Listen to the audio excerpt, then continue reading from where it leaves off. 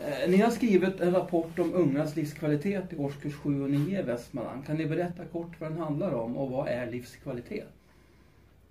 Eh, ja, eh, det är en undersökning då som utgår ifrån hela länet kan man säga, Liv och hälsa ung.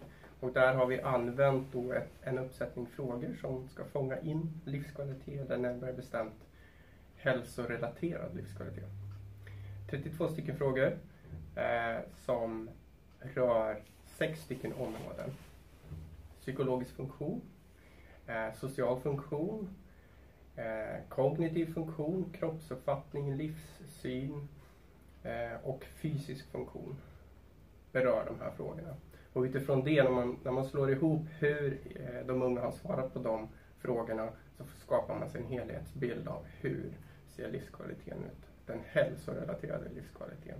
Och det kan man definiera som sambandet mellan en individs hälsa och välbefinnande och eh, eh, personens förmåga att fungera i olika avseenden. Då.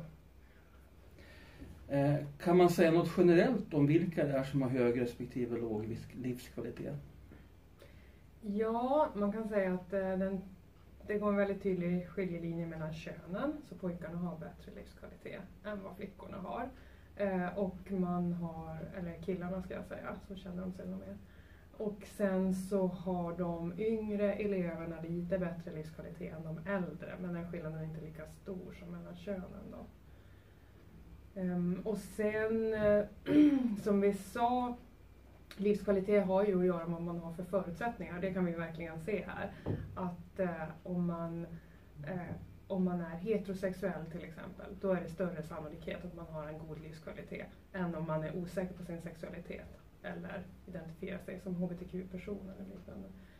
Eh, och om föräldrarna har bättre ekonomi, då är det också större chans att man har god livskvalitet. Så att eh, det bara visar just det här att att vad man har för valmöjligheter i livet, det påverkar också hur bra liv man tycker att man har.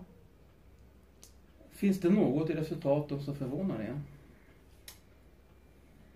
Vi blev kanske förvånade över att det var så bra, att, att ungdomarna var så nöjda med so sitt sociala liv som de var, för det är det som de är mest nöjda med.